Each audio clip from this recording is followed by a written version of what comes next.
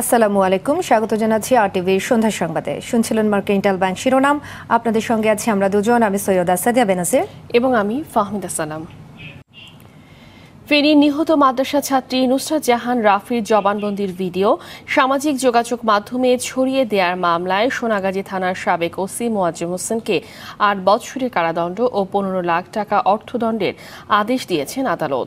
Cyber ট্রাইব্যুনালের বিচারক মোহাম্মদ আশরামস জগলুর হোসেন এ রায় দেন। রিপোর্ট করছেন জাহিদ রহমান। ফেনীর মাদ্রাসা ছাত্রী নুসরাত জাহান হত্যাকাণ্ড ভিন্ন খাতে প্রভাবিত করতে নুসরাতের আপত্তিকর ভিডিও সামাজিক যোগাযোগ মাধ্যমে ছড়িয়ে দেওয়ার অভিযোগে গত পনেরো এপ্রিল মোয়াজ্জেমের বিরুদ্ধে সাইবার ট্রাইব্যুনালে মামলা হয়।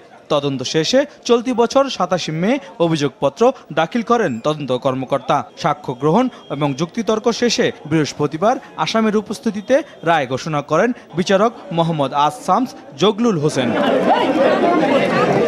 রায়ে ডিজিটাল নিরাপত্তা আইনের ২৬ ধারায় পাঁচ বছরের কারাদণ্ড এবং দশ লাখ টাকা জরিমানা ও উনত্রিশ ধারায় তিন বছরের কারাদণ্ড দেন আদালত। রায়ে আদালত বলেন, অর্থদণ্ডের টাকা ভুক্তভোগী নুসরাত জাহানের পরিবারকে দিতে হবে। রায়ে সন্তুষ্টি প্রকাশ করেন মামলার বাদী পক্ষের আইনজীবী। আমরা তো তিনটি ধারায় তার বিরুদ্ধে অভিযোগ এনেছিলাম। অনুমতি ছাড়া ছাব্বিশ ধারায় ভিডিও করা, আমরা এনেছিলাম যে এই ভিডিওটি ছড়াই দেওয়া। উনত্রিশ ধারা এবং একত্রিশ ধারায় ছিল সামাজিক অস্থিরতা। এইখানে আদালত বলেছেন যে সামাজিক অস্থিরতা বিষয়টি আমরা ওইভাবে প্রমাণ করতে পারি নাই। তবে ভিডিও করা এবং ছড়াই দেয়া ছাব্বিশ এবং উনত্রিশ এই দুই ধারা আমরা সম্পূর্ণ রূপে প্রমাণ করতে সক্ষম হয়েছি। এই তবে মুয়াজ্জেমের আইনজীবী এই রায়ের বিরুদ্ধে উচ্চ আদালতে যাওয়ার কথা জানান। তিনটা সেকশনে মামলা দায়ের করেছিল ওনারা একত্রিশ ধারা প্রমাণ করতে পারে নাই। যে সিআরপিসির একশো আটানব্বই ধারার বিধান যেটা আছে সেখানে ক্ষতিগ্রস্ত ব্যক্তির পরিবার তার আত্মীয় স্বজনই মামলা করবে। কিন্তু আমাদের ব্যারিস্টার সাহেব উনি ক্ষতিগ্রস্ত ব্যক্তি না। তারপর উনি মামলা দায়ের করেছেন। বিজ্ঞ আদালতের রং ফাইন্ডিং দিয়েছেন। চলতি বছরের ছয় এপ্রিল গায়ে কেরোসিন ডেলে আগুনে পুড়িয়ে শরীর জ্বলসিয়ে দেওয়া হয় ফেনীর মাদ্রাসা ছাত্রী নুসরাত জাহানকে। দশই এপ্রিল হাসপাতালে মারা যান নুসরাত। এই ঘটনায় দায়ের করা হত্যা মামলায় গত চব্বিশে অক্টোবর ষোলো জনকে ফাঁসিতে ঝুলিয়ে হত্যার আদেশ দেন ফেনীর জজ আদালত। জাহিদ রহমান আরটিভি ঢাকা। এদিকে ওসি মোয়াজ্জেমের সাজা ও আর্থিক জরিমানার রায়ে সন্তোষ জানিয়েছে নুসরাতের পরিবার। ফেনীর বাড়িতে নুসরাতের মা শিরিন আক্তার রায় দ্রুত কার্যকরের দাবি জানান। একই সঙ্গে পরিবারের নিরাপত্তা চান তিনি।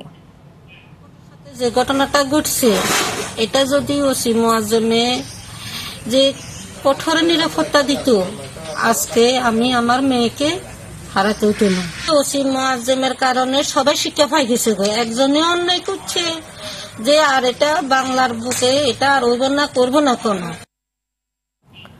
গাইবান্ধা এক সুন্দরগঞ্জ আসনে আওয়ামী লীগের সাবেক সংসদ সদস্য মঞ্জুর ইসলাম লিটন হত্যা মামলার প্রধান আসামি জাতীয় পার্টির সাবেক এমপি আব্দুল কাদের সহ সাতজনকে মৃত্যুদণ্ড দিয়েছেন আদালত। বেলা পৌনে বারোটার দিকে গাইবান্ধা জেলা ও দায়রা জজ আদালতের বিচারক দিলীপ কুমার ভৌমিক আলোচিত এ মামলার রায় ঘোষণা করেন। এর আগে কর্নেল কাদের সহ ছয় আসামিকে আদালতে হাজির করা হয়।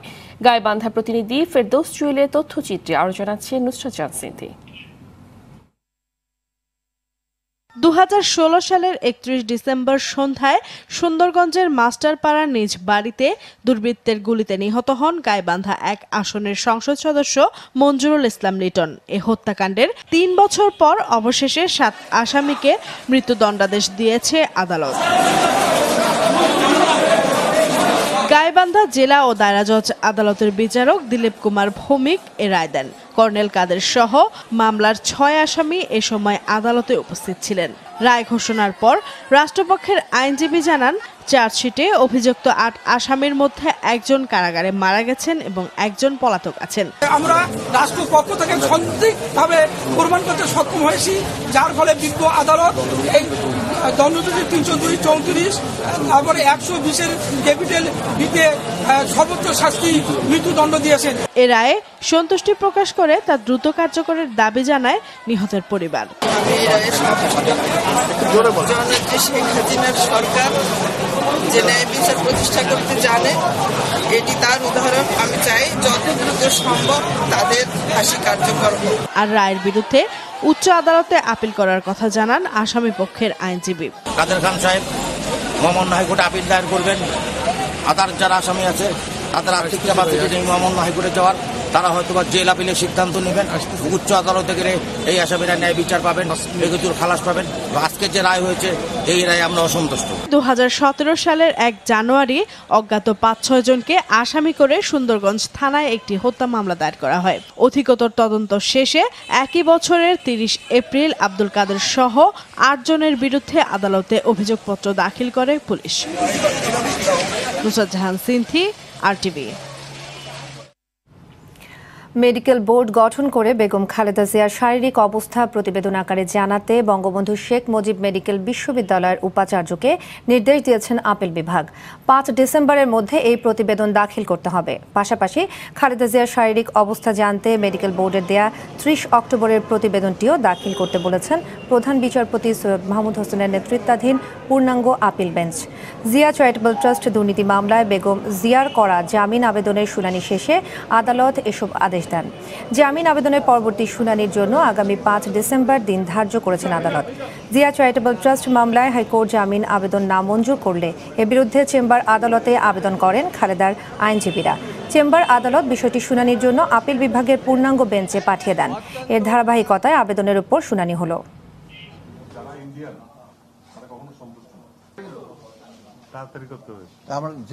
বঙ্গবন্ধু বিশ্ববিদ্যালয়ের ভাইস চ্যান্সেলরকে নির্দেশ দিয়েছেন।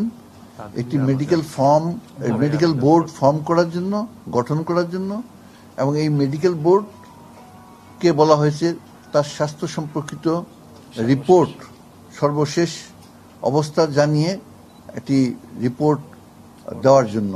গতকালকের খবর হচ্ছে বেগম খালেদা জিয়া বিছানার থেকে উঠতে পারছেন না। বেগম খালেদা জিয়া ক্রিপেল হয়ে গিয়েছেন। তার স্বাস্থ্য দিন দিন অবনতি হয়ে গিয়েছে এবং বোর্ড ইতিমধ্যে তাকে পরীক্ষা করেছে। বোর্ড পরীক্ষা করে বলেছে, রিপোর্ট দিয়েছে যে তার অ্যাডভান্স ট্রিটমেন্ট দরকার। বা সাবমিশন উপরে সন্তুষ্ট হয়ে ওনারা বোর্ডের রিপোর্টটা কল করেছে। এদিকে বিএনপি চেয়ারপারসন খালেদা জিয়ার মুক্তির দাবিতে সুপ্রিম কোর্ট এলাকায় গাড়ি ভাঙচুর ও পুলিশের উপর হামলার ঘটনার মামলায় বিএনপি মহাসচিব মির্জা ফখরুল ইসলাম আলমগীর, স্থায়ী কমিটির সদস্য মির্জা আব্বাস গয়েশ্বর চন্দ্র ও আইন সম্পাদক ব্যারিস্টার কাইসার কামালকে আট সপ্তাহের আগাম জামিন দিয়েছেন হাইকোর্ট। বিচারপতি জাহাঙ্গীর হোসেন ও বিচারপতি রিয়াজ উদ্দিন খানের হাইকোর্ট বেঞ্চ আদেশ দেন। এই সময়ের মধ্যে তাদের নিম্ন আদালতে আত্মসমর্পণ করতে বলা হয়েছে। গেল ছাব্বিশ নভেম্বর সুপ্রিম কোর্টের সামনের রাস্তায় বিএনপি নেতাকর্মীদের সঙ্গে পুলিশের ধাওয়া, পাল্টা ধাওয়া ও গাড়ি ভাঙচুরের ঘটনায় মির্জা ফখরুল সহ পাঁচশো নেতাকর্মীর বিরুদ্ধে শাহবাগ থানায় পুলিশ বাদী হয়ে মামলা দায়ের করেন। দুঃশাসনের ধারাকে আরও গভীর করার জন্যই বিএনপি নেতাদের নামে মামলা ও গ্রেফতার অব্যাহত রেখেছে সরকার। এমন অভিযোগ করলেন দলটির সিনিয়র যুগ্ম মহাসচিব রুহুল কবির রিজভী। রাজধানীর নয়াপল্টনে বিএনপির কেন্দ্রীয় কার্যালয়ে আয়োজিত সংবাদ সম্মেলনে মেজর হাফিজ ও খায়রুল কবির খোকনকে হাইকোর্ট প্রাঙ্গণ থেকে আটকের প্রতিবাদ জানান রিজভী। সরকারের কারণে বেগম খালেদা জিয়া মুক্তি পাচ্ছে না অভিযোগ করে আওয়ামী লীগ চক্রান্তের পথে হাঁটছে বলে দাবি করেন তিনি। সাধারণ সম্পাদক হাবিবুর রশিদ। হাবিব।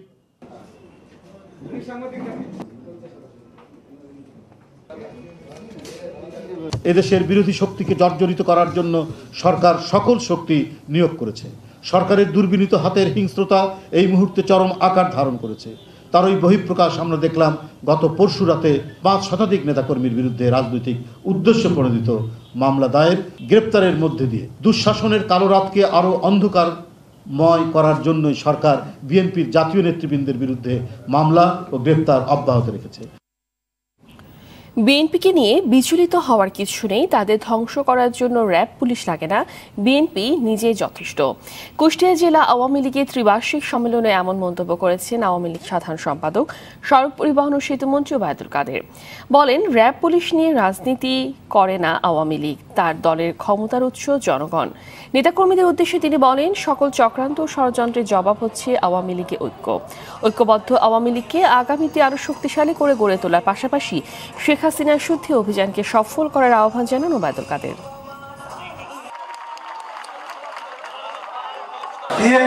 বলে, র্যাব পুলিশ দিয়ে ধ্বংস করছে তাদের। র্যাব পুলিশ লাগবে না। ধ্বংস করার জন্য আত্মবিনাশী, নেতিবাচক বিএনপি সম্পূর্ণরূপে তারাই যথেষ্ট। বিএনপিকে ধ্বংস করার জন্য যথেষ্ট। আওয়ামী লীগের প্রয়োজন হবে না। পার্বত্য অঞ্চলে শান্তি ও উন্নয়নে সরকার সবসময় সচেষ্ট বলে জানিয়েছেন প্রধানমন্ত্রী শেখ হাসিনা। এই অঞ্চলে বঙ্গবন্ধুকে হত্যার পর অশান্ত পরিবেশ সৃষ্টি করা হয়েছিল বলেও অভিযোগ করেন সরকার প্রধান। সকালে গণভবন থেকে ভিডিও কনফারেন্সের মাধ্যমে পার্বত্য অঞ্চলে সৌর বিদ্যুতায়ন সহ চারটি উন্নয়ন প্রকল্পের উদ্বোধন অনুষ্ঠানে এসব কথা বলেন তিনি। দেশের কোনো অঞ্চল অন্ধকারে থাকবে না বলে আবারও ঘোষণা দেন প্রধানমন্ত্রী। বিস্তারিত জানাচ্ছেন রুহুল আমিন তুহিন। মুজিব বর্ষের আগেই দেশকে শতভাগ বিদ্যুতায়িত করার লক্ষ্যে পার্বত্যাঞ্চলের দুর্গম এলাকাতে সোলার প্যানেলের মাধ্যমে বিদ্যুৎ পৌঁছাতে চায় সরকার। এরই অংশ হিসেবে পাহাড়ি অঞ্চলের পরিবার ও কমিউনিটির মধ্যে তেরো হাজার চারশো সাতটি সোলার প্যানেল বিতরণ কার্যক্রম ভিডিও কনফারেন্সের মাধ্যমে গণভবন থেকে উদ্বোধন করেন প্রধানমন্ত্রী শেখ হাসিনা। এ সময় পার্বত্যাঞ্চলের উন্নয়নে সরকারের পরিকল্পনা জানিয়ে প্রধানমন্ত্রী ঘরে ঘরে বিদ্যুৎ পৌঁছে দেওয়ার ঘোষণা দেন। আমরা চেষ্টা করেছি ওখানকার মূল সমস্যাটা জানতে। তারপর আমরা একটা ঘোষণা দিয়েছিলাম যেটা রাজনৈতিক সমস্যা, রাজনৈতিকভাবে আলোচনা করেই সমাধান করতে হবে। এখানে মিলিটারিলি সমাধান করা যাবে না। আমরা সেই উদ্যোগ নিই আমরা প্রচেষ্টাও নিই এবং আমরা সফল হই। ছিয়ানব্বই সালে একুশ বছর পর যখন আমরা সরকার গঠন করি, আমরা জাতীয় জাতীয় সংসদে একটা কমিটি গঠন করি এবং সেই ন্যাশনাল কমিটির মাধ্যমে যেমন আলোচনা করি, তার বাইরেও আমি আমার নিজের উদ্যোগে আমি আলাপ আলোচনা চালাই। হাসপাতাল, মেডিকেল কলেজ, শিক্ষা প্রতিষ্ঠান থেকে শুরু করে রাস্তাঘাট তৈরি করা, পুল ব্রিজ তৈরি করা, ব্যাপক হারে উন্নয়নের কাজ আমরা বাস্তবায়ন করে যাচ্ছি। কোনো ঘর যেন অন্ধকার না থাকে। আর সেই লক্ষ্য নিয়েই পার্বত্য অঞ্চলের, সে প্রত্যন্ত অঞ্চলের দুর্গম অঞ্চল থেকে শুরু করে সকল জায়গায় আমরা বিদ্যুৎ সরবরাহের জন্য সোলার প্যানেল উপহার দিয়ে যাচ্ছে। প্রধানমন্ত্রী ভিডিও কনফারেন্সের মাধ্যমে কাপ্তাই লেকের মাছ ও জলজ পরিবেশের ওপর ভাসমান গবেষণা তরি ও শিপিং কর্পোরেশনের পাঁচটি জাহাজ উদ্বোধন করেন। তথ্য প্রযুক্তির উন্নয়ন, নিরাপদ ডাটা সংরক্ষণ, সাইবার সিকিউরিটি নিশ্চিত করতে ফোর টায়ার জাতীয় ডাটা সেন্টার সরকার প্রধানের হাত ধরেই যাত্রা শুরু করে। সড়কের পাশাপাশি নৌপথকে আধুনিকায়নের লক্ষ্যে শিপিং কর্পোরেশনের ছয়টি জাহাজ উদ্বোধন করেন বঙ্গবন্ধু কন্যা। উঠত বেসরকারি খাত এখন অনেক জায়গায় জাহাজ শিল্প গড়ে উঠছে। আমরা তাদেরকে উৎসাহ দিচ্ছি। আর ভবিষ্যতে আমাদের আরও পরিকল্পনা আছে যে আমরা আমাদের দক্ষিণ অঞ্চলে, যেমন আমাদের বরগুনা অঞ্চল, সেখানে আমরা একটা শিপইয়ার্ড নতুনভাবে তৈরি করব। ভিডিও কনফারেন্সে বিভিন্ন শ্রেণি পেশার মানুষের সাথে কথা বলেন প্রধানমন্ত্রী শেখ হাসিনা। রুহুল আমিন তুহিন আর টিভি ঢাকা। পেঁয়াজের সংকট হবে এমনটা আগে জানা গেলেও প্রস্তুতি নিতে পারেনি সরকার। আর বাংলাদেশে পেঁয়াজের বাজারে অস্থিরতা বুঝতে পেরে সুযোগ নিয়েছে রপ্তানিকারক দেশগুলো। মূলত এই দুই কারণেই পেঁয়াজের দাম সর্বকালের রেকর্ড ভেঙেছে বলে দাবি ব্যবসায়ীদের। তবে বিশ্লেষকরা বলছেন, পেঁয়াজ সংকটের জন্য দেশি ব্যবসায়ীদের দোষ কোনো অংশই কম নয়। কর্তৃপক্ষ আগাম প্রস্তুতি না নেওয়ায় পরিস্থিতি জটিল হয়েছে বলে মনে করেন তারা। নাজমুল হাসান সাইমনের ছবিতে সেলিম মালিকের রিপোর্ট। বন্যায় বেশ কয়েকটি জেলায় ফসল ক্ষতিগ্রস্ত হওয়ায় চলতি বছরের সেপ্টেম্বর থেকে ডিসেম্বর পর্যন্ত দেশের পেঁয়াজের সংকট হতে পারে, এমন আভাস আগেই ছিল। ভারতেও বন্যা হওয়ায় দেশটি গত উনত্রিশে সেপ্টেম্বর পেঁয়াজ রপ্তানি বন্ধ করে দেয়, ফলে অস্থির হয়ে ওঠে দেশের পেঁয়াজের বাজার। মূল্য উঠে যায় কেজি প্রতি আড়াইশো টাকারও বেশি। ব্যবসায়ীরা গা বাঁচিয়ে বলছেন, পেঁয়াজের সিন্ডিকেট কমই কাজ করছে। তাদের অভিযোগের তীর রপ্তানিকারক দেশগুলোর দিকে। যারা নিয়ে রপ্তানি করে, এরা আমাদের এই দুর্বলতার সুযোগটা ওরা কাজে লাগাচ্ছে। প্রথম যে বার্মা পেঁয়াজের চালান আসে, তখন ওদের দাম ছিল আপনার পাঁচচল্লিশ টাকা পার কেজি। কিন্তু সেই পেঁয়াজ এখন একশো পঞ্চাশ থেকে ষাট টাকা। ঘাটতি পূরণে শেষ পর্যন্ত বিদেশ থেকে বিমান ও জাহাজে পেঁয়াজ আনা হয়। তারপরও কেন দাম কমছে না? প্রশ্ন ছিল ব্যবসায়ীদের কাছে। তখন তো কালকে আছে ষাট গানি আজকে আছে দশ গানি এই জন্য বাজারে একদিন একরকম হয়ে যেতে গেছে। একদিন পেঁয়াজ দশ টাকা বিশ টাকা বেশি দিতে গেছে আবার দশ টাকা কমিতে আছে। আবার বাড়তেছে আবার কমতে আছে যদি পেঁয়াজ যদি রানিং ভাবে যদি সত্তর আশি নব্বই গাড়ি একশো গাড়ি যদি ডেলি আসতো ফাড্ডে আইতো তাহলে তো বাজারটা ঠিকই নিয়ন্ত্রণে আসতো। বাজার বিশ্লেষকরা বলছেন পেঁয়াজের সংকট কাটাতে সরকারের পূর্ব প্রস্তুতি দরকার ছিল। দাম বাড়ার পেছনে দায় রয়েছে ব্যবসায়ীদেরও। কিছু তো প্লেনে আনা হলো বাকিগুলো জাহাজে পৌঁছাতে পৌঁছাতে কিন্তু আমাদের নিজেদের পেঁয়াজ উঠে যাবে। তখন যদি আবার ইন্ডিয়াও তার ব্যান উঠিয়ে দেয় আসলে তখন কি হবে? তখন কিন্তু পেঁয়াজের সাপ্লাইটা বেড়ে গিয়ে দাম যেটা কৃষকের পাওয়ার কথা, কৃষক সঠিক দাম পাবে কিনা সেটা কিন্তু চিন্তার ব্যাপার হয়ে দাঁড়াবে। কাজেই আমরা রাইট টাইমে যদি ইম্পোর্টের চিন্তা না করতে পারি, তাহলে কিন্তু হবে না। হলো যে আমরা এইবার একটা শিক্ষা নিয়ে আমরা সামনের বছরগুলোতে এই ধরনের পরিস্থিতি মোকাবেলা করার জন্য আমরা প্রস্তুতি নিচ্ছি কিনা। এবং অন্যান্য পণ্যের ক্ষেত্রে এই ধরনের পরিস্থিতি ভবিষ্যতে হতে পারে কিনা। দেশের পেঁয়াজের চাহিদা ত্রিশ শতাংশ এখনও আমদানি নির্ভর। উৎপাদনে স্বয়ংসম্পূর্ণতা অর্জনে কৃষকদের প্রণোদনা দেওয়ার পরামর্শ ক্যাবের। আমরা পেঁয়াজ উৎপাদনে স্বয়ংসম্পূর্ণতা অর্জন করতে পারি। তাহলে এই যে ভলেটিলিটি কি মৌসুমের শেষে ভারত যদি রপ্তানি বন্ধ করে তাহলে একটা উচ্চ মূল্য এইটা আর কি হ্রাস পাবে। এদিকে বেপরোয়া পেঁয়াজের মূল্য নিয়ন্ত্রণে কোনো কারসাজি আছে কিনা তা খতিয়ে দেখতে আমদানিকারকদের জিজ্ঞাসাবাদ করেছে শুল্ক গোয়েন্দা ও তদন্ত অধিদপ্তর। সেলিম মালিক, আরটিভি, ঢাকা।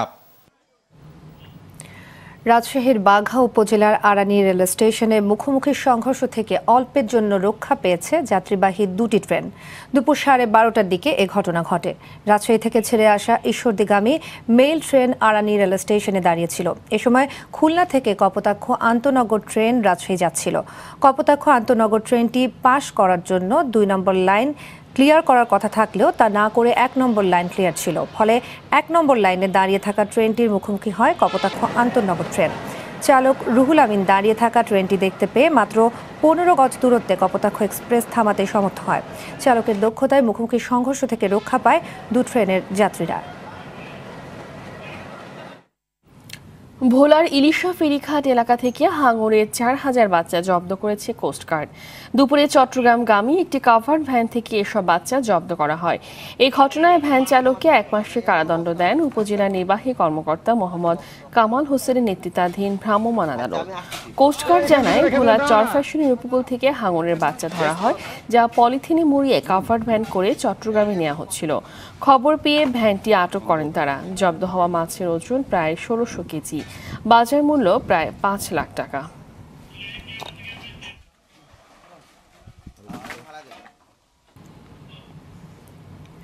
পাইকারি পর্যায়ে বিদ্যুতের দাম তেইশ দশমিক দুই সাত শতাংশ বাড়ানোর প্রস্তাব দিয়েছে পিডিবি সকালে রাজধানীর টিসিবি মিলনায়তনে বিইআরসি আয়োজিত গণশুনানিতে এ প্রস্তাব দেয় সংস্থাটি। অন্যদিকে বিদ্যুতের দাম সাড়ে উনিশ শতাংশ বাড়ানোর কথা বলছে বিইআরসি তবে বিদ্যুৎ খাতের সিস্টেম লস ও দুর্নীতি কমলে দাম বাড়ানোর প্রয়োজন হবে না বলে মনে করে ভোক্তা ব্যবসায়ী ও রাজনৈতিক সংগঠনগুলো। বিস্তারিত শাকিবুর রহমানের রিপোর্টে।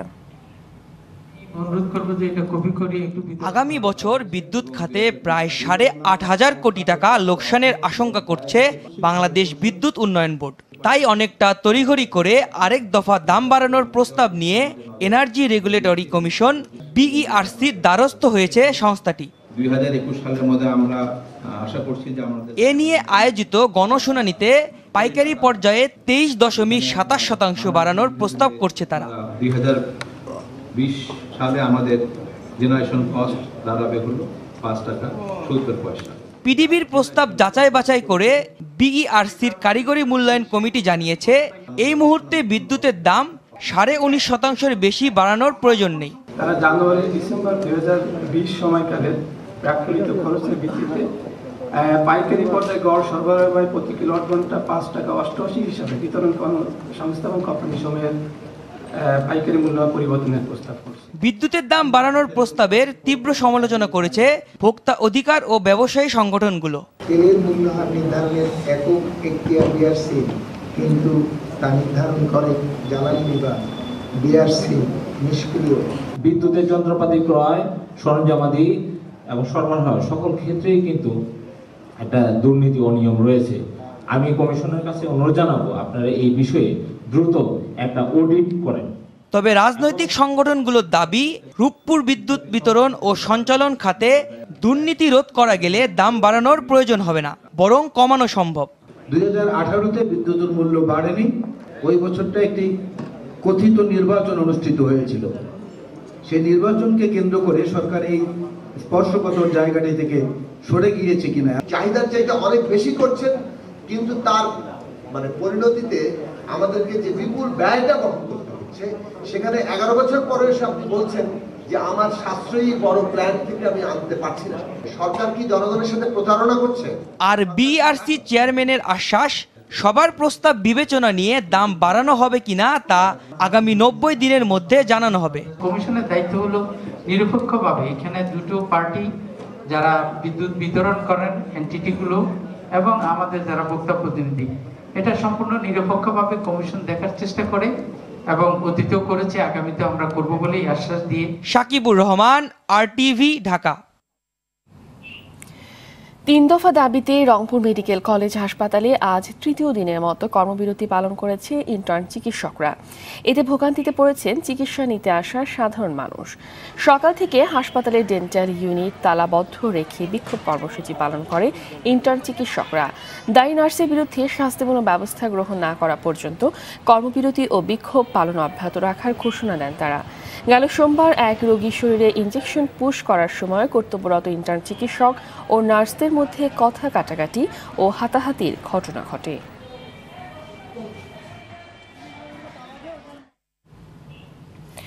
ধামরাইয়ে পরিবেশ দূষণ ও টপ সয়েল ব্যবহার সহ নানা অনিয়মের অভিযোগে পাঁচটি ইটভাটা বন্ধ করে দিয়েছে ভ্রাম্যমাণ আদালত। জরিমানা করা হয় ষাট লাখ টাকা। ইটভাটাগুলো হলো Halima bricks, sun bricks USA bricks, Aziz and sons bricks O Dautia bricks. ভ্রাম্যমাণ আদালতের নির্বাহী ম্যাজিস্ট্রেট মাকসুদুল ইসলাম জানান, বাসাবাড়ি শিক্ষা প্রতিষ্ঠান ও হাসপাতালের দেড় কিলোমিটারের মধ্যে কোনো ইটভাটা থাকার নিয়ম নেই। হাইকোর্ট ঢাকার আশেপাশে সব অবৈধ ইটভাটা ভাঙার নির্দেশ দেয় পরিবেশ অধিদপ্তরের পক্ষ থেকে এ অভিযান চালনা পরিচালনা করা হচ্ছে বলেও জানান তিনি।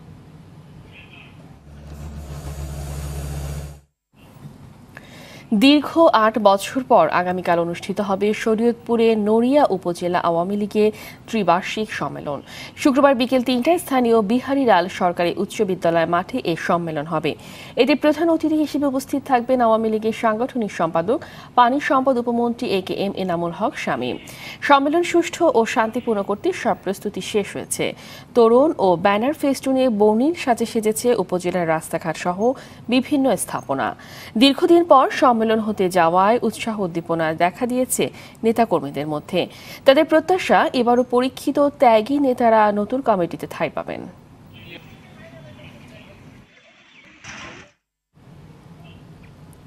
মধুমতি ব্যাংক লিমিটেড, চট্টগ্রামের শাহ আমানত আন্তর্জাতিক বিমানবন্দরে মধুমতি লাউঞ্জ নামে একটি বিলাসবহুল লাউঞ্জ উদ্বোধন করেছে। দুপুরে বেসামরিক বিমান পরিবহন ও পর্যটন প্রতিমন্ত্রী মোহাম্মদ মাহবুব আলী এর উদ্বোধন করেন। ব্যাংকের পরিচালনা পর্ষদের চেয়ারম্যান হুমায়ুন কবিরের সভাপতিত্বে অনুষ্ঠানে বিশেষ অতিথি হিসেবে ছিলেন ব্যাংকের নির্বাহী কমিটির chairman barrister Sheikh Fazle Noor Taposh MP. অনুষ্ঠানে ব্যাংকের পরিচালক Didarul Alam MP Salauddin Alamgir, M A Mannan, ব্যবস্থাপনা পরিচালক মোহাম্মদ শফিউল আজম সহ উচ্চ পদস্থ কর্মকর্তারা উপস্থিত ছিলেন।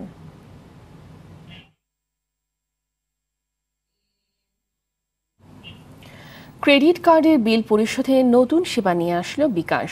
এখন থেকে বাংলাদেশে ইস্যুকৃত ভিসা ক্রেডিট কার্ডের মাসিক বিল খুব সহজেই যে কোনো সময় যে কোনো স্থান থেকে বিকাশ অ্যাপ দিয়ে পরিশোধ করা যাবে।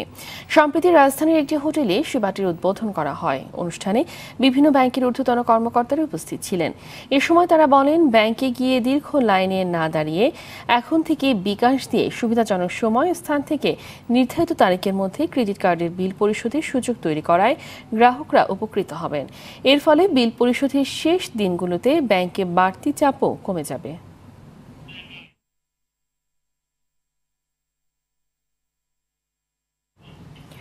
রাজধানীর মোহাম্মদপুরের ঢাকা উদ্যানে স্ট্যান্ডার্ড ব্যাংক লিমিটেডের একশো সাঁত্রিশতম শাখার উদ্বোধন হয়েছে।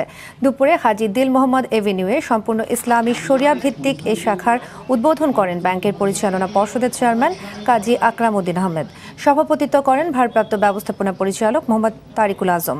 এ সময় প্রতিষ্ঠানের ভাইস চেয়ারম্যান মোহাম্মদ শামসুল আলম, পরিচালক কামাল মোস্তফা চৌধুরী, ফিরোজুর রহমান ও কাজী খুররম আহমদ সহ অন্যান্যরা উপস্থিত ছিলেন।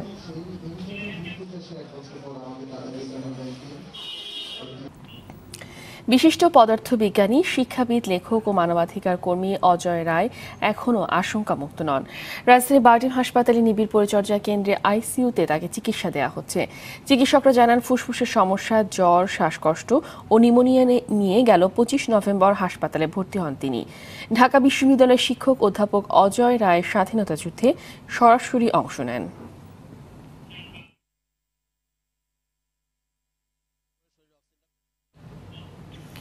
তুরাক থেকে বুড়িগঙ্গা তীর পর্যন্ত প্রয়াত মেয়র মোহাম্মদ হানিফের উন্নয়নের ছোঁয়া আজও দৃশ্যমান। তার স্বপ্ন অনুযায়ী সবুজ ও বাসযোগ্য ঢাকা প্রতিষ্ঠার লক্ষ্যে দক্ষিণ সিটি কর্পোরেশন কাজ করছে বলে মন্তব্য করলেন মেয়র সাইদ খোকন। নগর ভবনে মেয়র মোহাম্মদ হানিফের তেরোতম মৃত্যুবার্ষিকী উপলক্ষে আলোচনা ও দোয়া মাহফিলে এ কথা বলেন তিনি।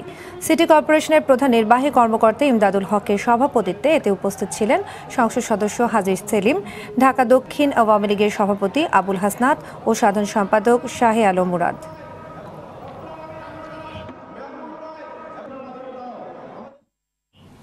এবার জেলা পর্যায়ের আরও কয়েকটি খবর জানাচ্ছেন রাসেল আহমেদ।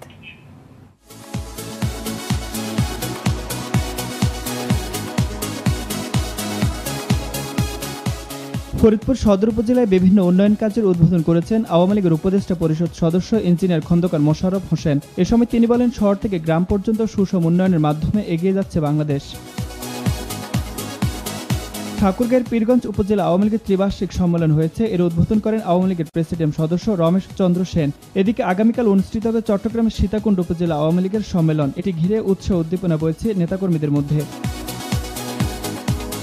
সন্ত্রাস ও জঙ্গিবাদকে রুখে দেওয়ার মতো সমাজ থেকে মাদককে রুখে দেওয়া হবে বলে জানিয়েছেন পুলিশের আইজি জাবেদ পাটোয়ারি। নারায়ণগঞ্জে পুলিশের বিভিন্ন উন্নয়ন প্রকল্পের উদ্বোধন অনুষ্ঠানে এসব কথা বলেন তিনি। লক্ষ্মীপুরে যৌতুক না পেয়ে স্ত্রীকে শ্বাসরোধ করে হত্যা মামলায় স্বামী মোহাম্মদ আক্তার হোসেনের ফাঁসির আদেশ দিয়েছেন আদালত। চুয়াডাঙ্গায় সরকারি চাকরি দেওয়ার কথা বলে টাকা হাতিয়ে নেওয়ার অভিযোগে শাহজামাল মিন্টু নামে এক ব্যক্তিকে আটক করেছে পুলিশ। এ সময় তার কাছ থেকে নয় লাখ ত্রিশ হাজার টাকা উদ্ধার করা হয়। বাগেরহাটে অনুষ্ঠিত হল পুষ্টি বিষয়ক সেমিনার। সিভিল সার্জন কার্যালয়ে সেমিনারে পুষ্টি কার্যক্রম তুলে ধরা হয়। সরকারি, বেসরকারি প্রতিষ্ঠানের কর্মকর্তা ও সাংবাদিক সহ সংশ্লিষ্টরা এতে অংশ নেন। গাজীপুরের মাওনা একটি কারখানার তুলার গুদামে অগ্নিকাণ্ডের ঘটনা ঘটেছে। দমকল বাহিনীর পাঁচটি ইউনিট আগুন নিয়ন্ত্রণ আনে। ক্ষয়ক্ষতির পরিমাণ জানা যায়নি।